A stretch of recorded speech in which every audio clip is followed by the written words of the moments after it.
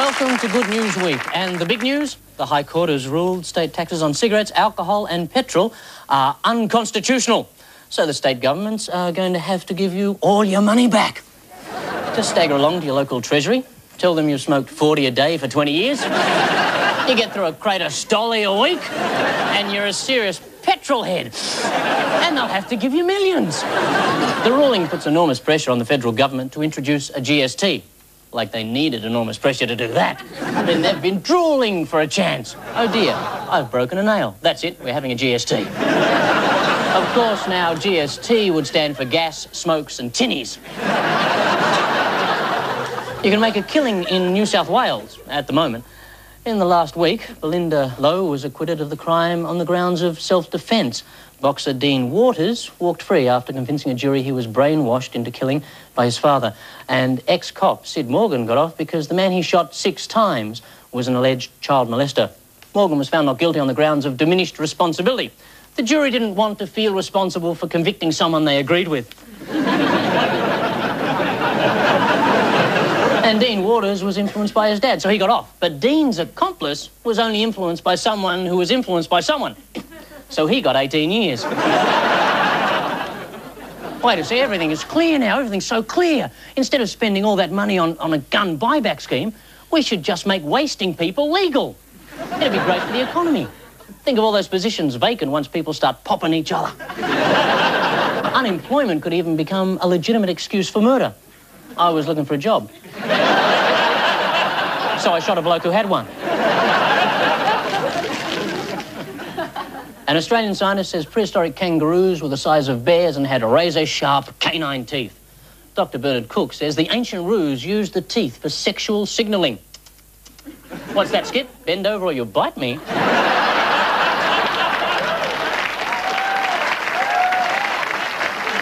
An advertising gimmick in McDonald's Austrian restaurants has backfired after it was found that new placemats depicted a map of the country as Adolf Hitler wanted it. Oops. Customers also complained about the new clown, Rommel McDonald, the Nurembergler,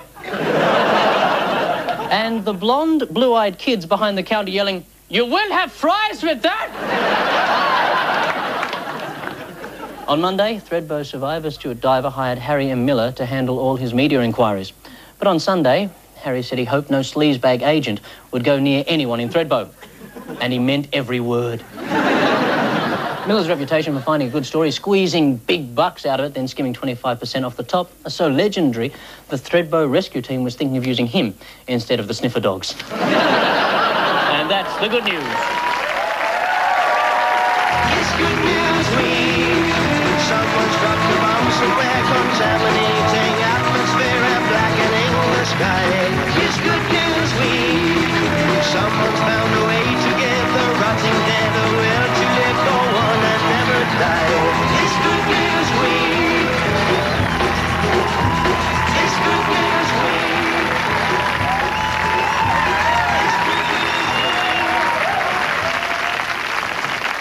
Thank you. Good evening. Tonight, for your amazement and delight, the warrior princess Julie McCrossan, the multi-skilled, multimedia, multi-story Peter Berner, and fresh from playing to packed houses in the Melbourne Casino Suicide Prevention Room, Lynda Gibson.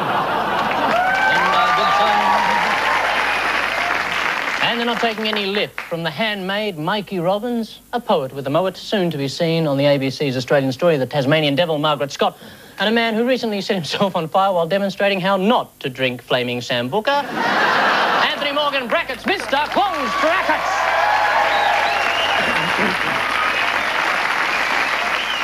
Let's go to work. Julie, Peter, Lynda. Yes? What is this shocking story? Oh, oh. oh. little politician from New South Wales. We saw it on the news. Oh, yes. The new Olympic pool.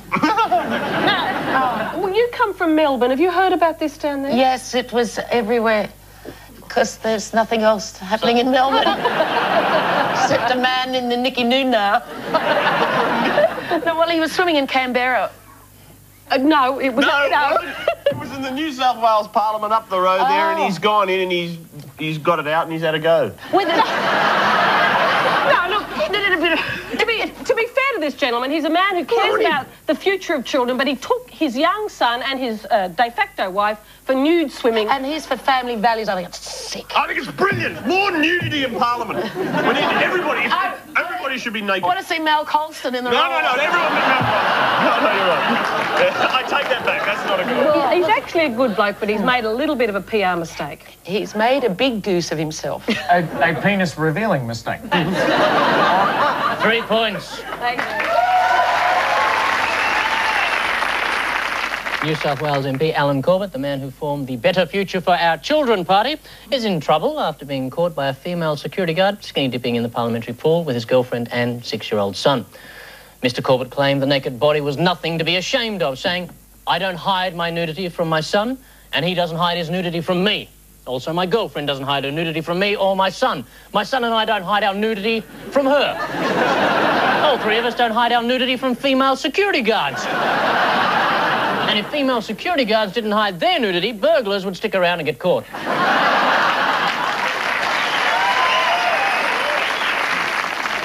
But are we really paying hundreds of thousands of dollars a year for MPs and their families to frolic naked in state parliament?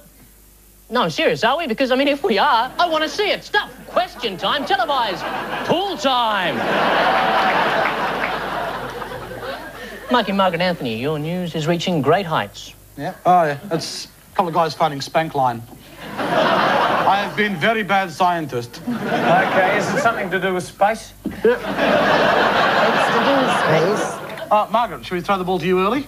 It's to do with going into space to uh, carry out a rescue. But there is one point I wish to raise here. Please. Why has Wendy Lawrence not gone? Uh, Wendy Lawrence, the uh, the American. Well, apparently, um, because the, this, is all, this is all about the uh, the rescue mission on Mir. Uh, Wendy Lawrence was the uh, the American who was supposed to go up with the rest of them, and uh, the silly idiots who make um, not, they're, not they're silly idiots, but let's face it, look at their track record. The Russian scientists who work in the space thing, glug glug glug glug glug. um, apparently made the uh, the spacesuit the wrong size for her. It's um. apparently, apparently they only come in XL and double XL.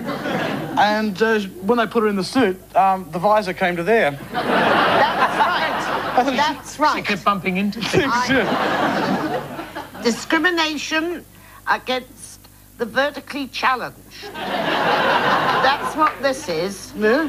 It's a dreadful and bitter tale. Well, if I had to send any short woman into space, Margaret, it'd be you. Mind you, don't, Margaret. In space, they don't have RBTs. Well, you're always going on about that sort of thing. I think you've got an obsession. Oh, you don't know the half of it. Three points. I'll stop you there. Three points.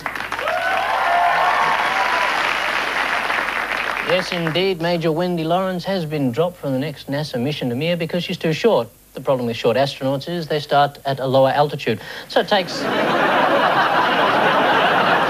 it takes that much more fuel to get them into orbit. And NASA says someone of Wendy's size is redundant on Mir. If she got into a spacesuit, she wouldn't be able to see out the visor and she'd bump into things. And there are already men on board who specialise in that.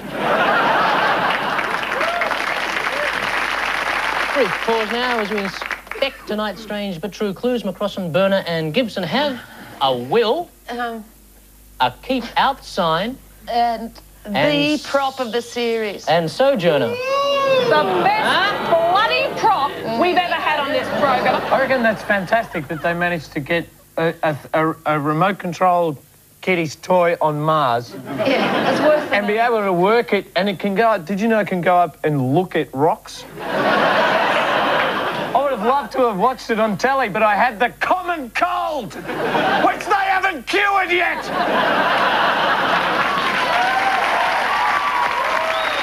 Robin, Scott, and Morgan got the usual suspects Great film. a tin of boot polish and a Bobby's hat. Hello, hello, hello. We cut the ribbon of round two with bites. Peter, say hello to Jim Downey. We're coming dangerously close to a situation where privately funded research is able to buy itself public uh, policy. Oh, look, I've been researching the effects of marijuana and things like that for years. no one's been interested in a word I've had to say on the matter. But this is all about privately funded research into uh, Jules. You, you get You're getting you private get, funded research into you. you get an Australian economy that re- is reliant on the coal industry. Greenhouse gases. Greenhouse gases going up, warming up the earth, causing problems. However, we've got to have jobs in this country. However, Paul, we've got to have jobs in this country, so this has obviously got to do with the greenhouse gases going up in the atmosphere and and and and yeah, and, They and wanna reduce They're saying that the estimates are way too high, and we can burn heaps, Heaps more, more. fuel without worrying about it. Who is saying that, Peter? Uh, the, the They- Australian Federation of oh. saying stuff. I think, in essence, independent foundation has said that we can reduce our targets for, re- well, we can reduce our targets for the production of gases that cause problems. However, they've discovered that the independent agency is in fact funded by the coal industry. Oh, And, uh, Right, thanks for that, Peter. Two points. I don't know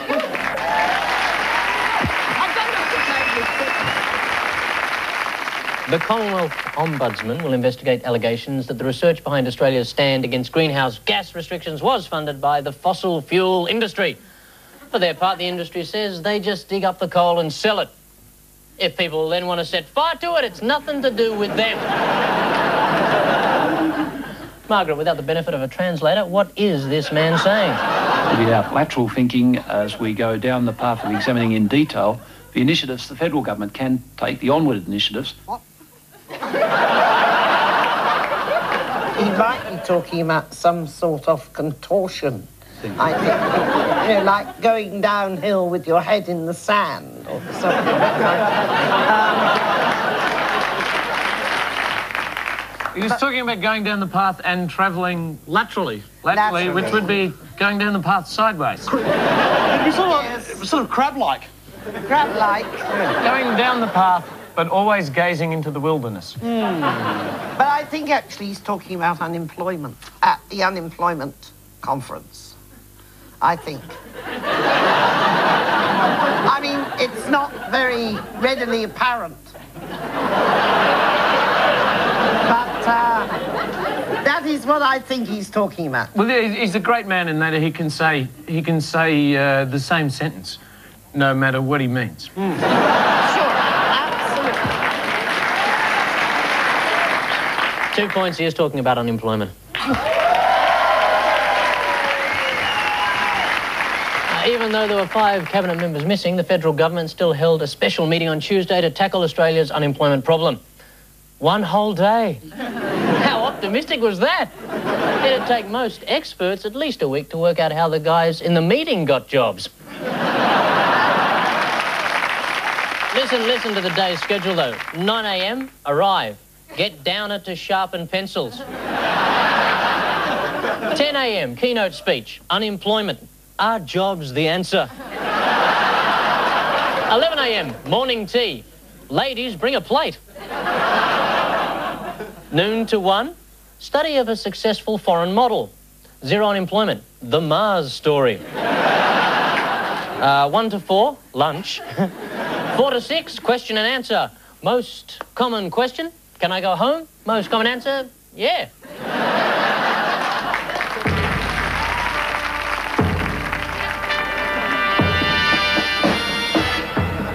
To close round two, magazine mastermind. Earlier tonight, Ms. Gibson and Mr. Morgan were given a journal to study and memorise.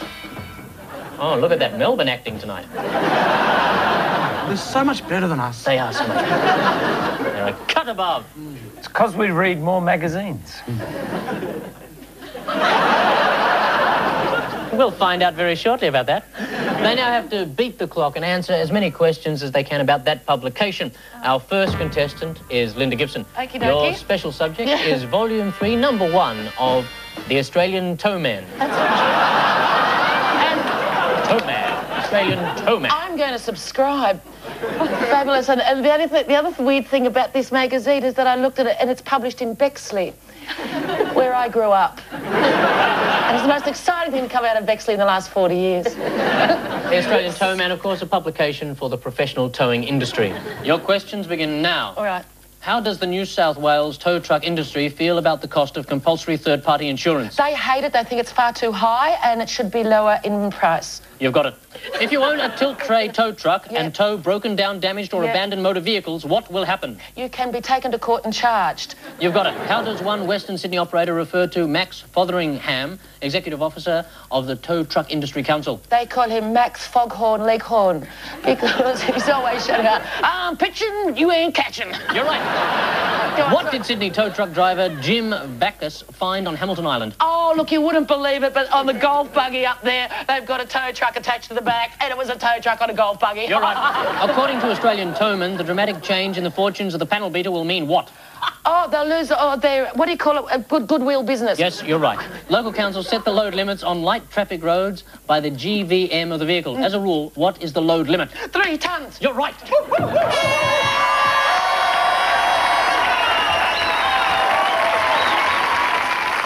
And at the end of your round on Australian Towman, you scored six perfect points. Sadly, you missed out on the special bonus question worth 400 points. If a tow truck driver arrives at the scene of an accident before anyone else, what is he required by law to do? Wait until the accident occurs before towing away the vehicles involved. so, Lynda Gibson, many thanks. Thank you. Anthony, good luck. it's really hard. Our second contestant is Anthony Morgan. Your special subject in Magazine Mastermind tonight is the July issue of Shoe and Leather News. I'm starting to wish I read a bit of it now. so many questions about the cover, Paul. Your time begins now. According to the latest research, how does the future look for the specialist footwear retailer? Pretty bleak. Right. True or false? Mad cow disease has increased consumer interest in footwear of a non-leather nature. False. It's actually due to the radical uh, uh, um, improvements in attaching non-leather uh, uh, uh, uppers to soles. Unfortunately, it's true. Not as much as the radical improvements of attaching non-leather uppers to soles. What is the first on the list of key stock management methods? Planning, planning, planning. How many different types of shoelace does the shoestring company have in stock? 18. 388. Buying trends in women's footwear over recent years has shown what? Spending is down, but women are buying more pairs of Yes, shoes. you're right. If a new scanner system, which creates a 3D image of the customer's foot in seconds, takes off, it will allow user companies to do what? Create an accurate I'll give it to you. database or something.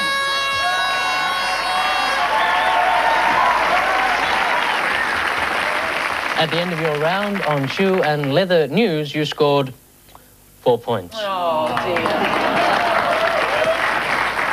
I know a joke about mad cows. yeah?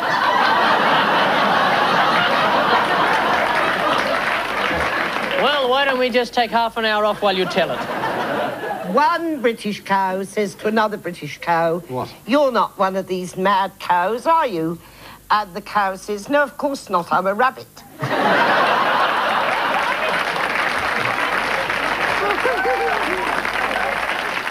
Now back to the show. Unfortunately, Anthony, you missed out on the 400 point bonus question as well. What's the most erotic part of making a shoe? And the answer sticking the tongue in. Oh. So, Anthony Morgan, many thanks. Odd one out is the traditional name of the game in round three. Lynda, Peter, Julie, you have a prawn, mm. Mickey Mouse, mm. Jayne Mansfield, oh. and Kurt oh. Cobain. Oh. Easy! easy, easy. That is so annoyingly easy. Ah. Well, No, well, Peter, I'm in a little bit of shock with the Mansfield image there. But for the uh. younger members of our audience, she is a famous bombshell who came to an unfortunate sort of. Yeah, she had a car smash and, and her head got. she was, she was a milkman. She was a milkmaid. Her milkmaid. breasts were saved.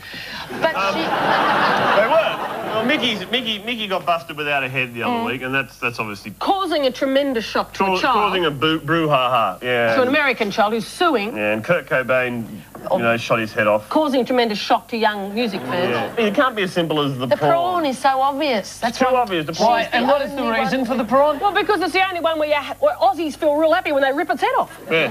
Yeah, you don't feel comfortable about that I answer? feel comfortable with No, it. It's so right. obvious. I think Yeah. the whole show's going Yeah, downhill. we had to make it obvious. We had to make it a bit obvious because the last few months you haven't been getting it. Well, if you'd phrased it in the way that fans of Jayne Mansfield, uh, Nirvana Guy, and Mickey are upset when their head comes off, but fans of the prawn are quite happy. See? Yeah, yeah. We well, we could have said it like that, That but bit of we- How, how do you want to say it? I mean, He like said- I Anthony say said, it. We just It's the prawn. three points!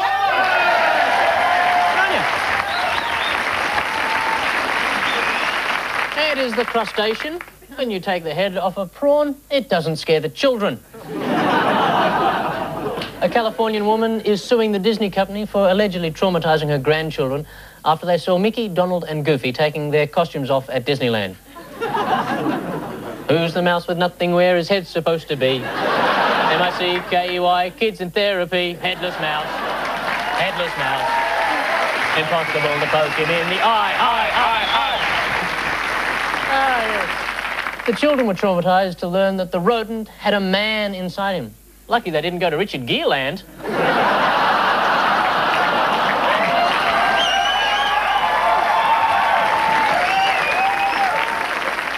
Anthony, Margaret, Mikey, who's the offal in the hot dog here?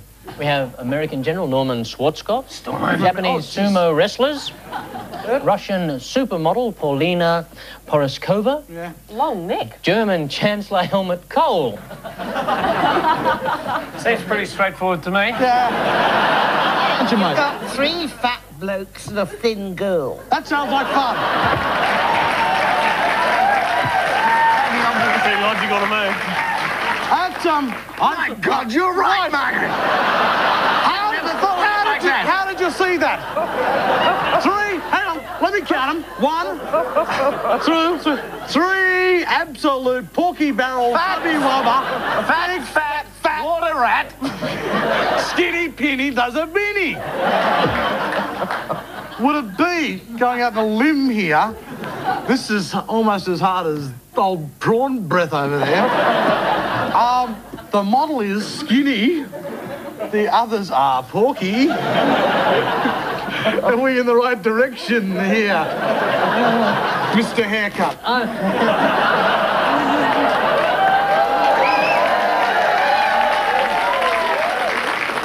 Why, when I think they were very kind when they were choosing the images for that piece.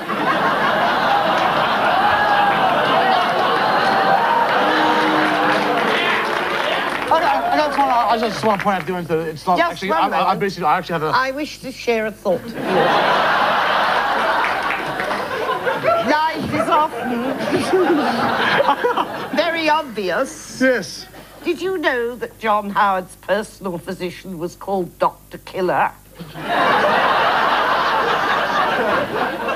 well, he is.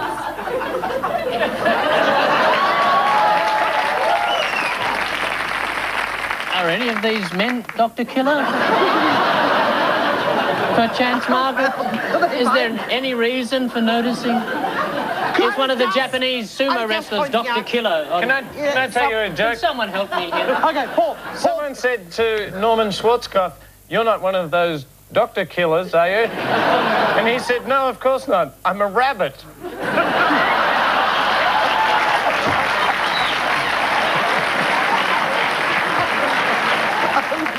Give me an answer I can understand. Paul, please, please, please, as, Someone, I...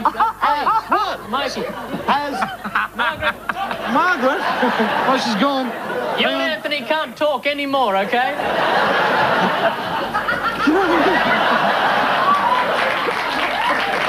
Um, could be the fact that, uh, the, the, shut up you for a second, that, that Norman the Sumos and Kohl all eat meals that weigh more than the model. Yes, So you're choosing... The model. Model, we've done this. I'm going to give it to you. I'll give it to you. You Oh, tried very hard. There's some great stuff in there. I'm going to give you three points anyway.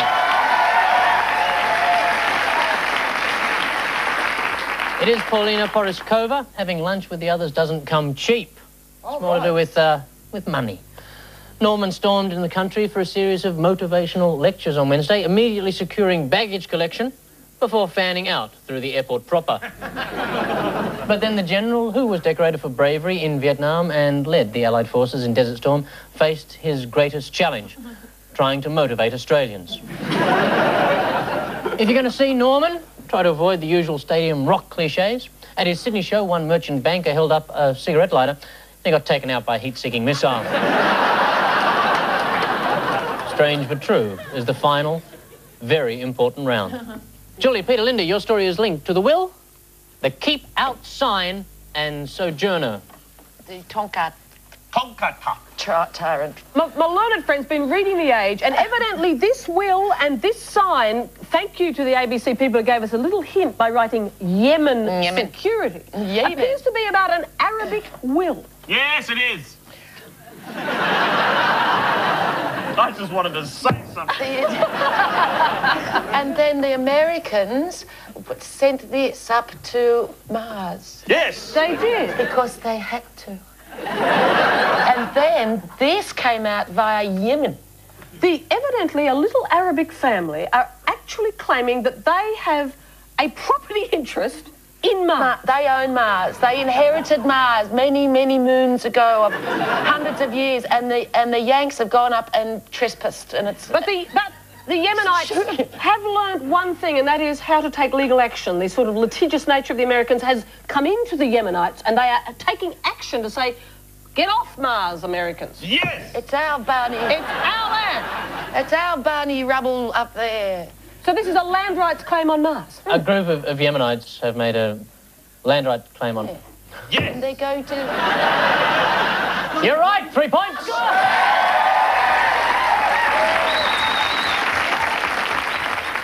Three men from Yemen are suing NASA for invading Mars, claiming they own the red planet.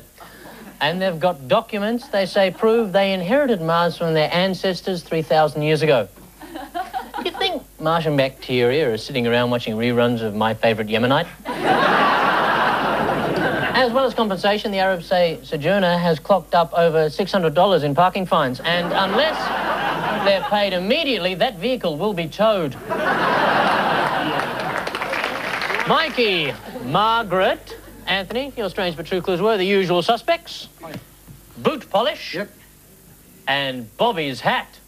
This is a true story came out of Manchester. Um, the, apparently, there was a, um, um, a, a, a, black man who was, who was arrested for a crime. They, they needed a, a lineup to see whether he was guilty or not, and they couldn't find enough um, English p- uh, people of, of uh, Jamaican descent, so they actually blacked up some policemen, a la black and white minstrel show, With boot polish. with boot polish, and they all burst in, um, and they were part of the lineup as well. Um, so I was like, well, can you identify the one black guy or the four big white blokes doing With doing way polish. down upon the Swanee River? and strange enough, they managed to pick out the black guy in the middle. That's what happened. That is what happened, isn't it? And it's not funny, it's disgusting. It's wrong, and they're thinking of trying it out in Queensland next week. When Yorkshire police couldn't find enough tall black men to stand in a lineup with an alleged criminal, they got eight white guys and put them in blackface. Senior police condemn using makeup to make white guys look black. In the old days, they would have done it with bruises. As a result of the lineup, the case was thrown out of court. The good news is it's reopened in the West End, where it's playing to packed houses. Julie McCrossan, Peter Berner, and Lynda Gibson scored an objectionable 17 points. Riding roughshod over Mikey Robbins, Margaret Scott, and Anthony Morgan on a sustained 14 points. How does that feel, Peter? That'd be a first for you, I It's think. the first time I've ever won. It's going to feel terrible now because I'm going to snatch it away from you and just give the game to Margaret Scott.